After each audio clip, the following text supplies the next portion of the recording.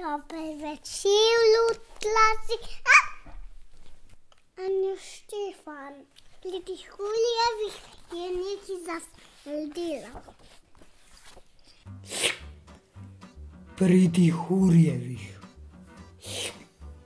Bilo je zgodnje jutro in pridi Hurjevih so se odpravljali spat.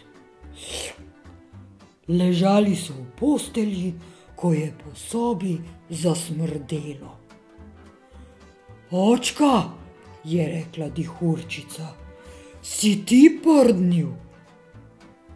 Ne, Si ti, mami? Ne. Potem sem pa jaz. je rekla dihurčica, kot bi recitirala pravljico o rdeči kokoški. Mislite, da tega ni vedela že prej? O, je, je. A kaj, ko je z očkom in mamico tako lepo kramljati, ležati zraven, slišati njun glas, vsaj malo, in zaspati.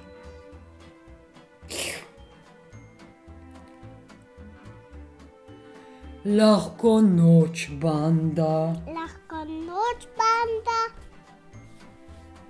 In zaplemo pravljico.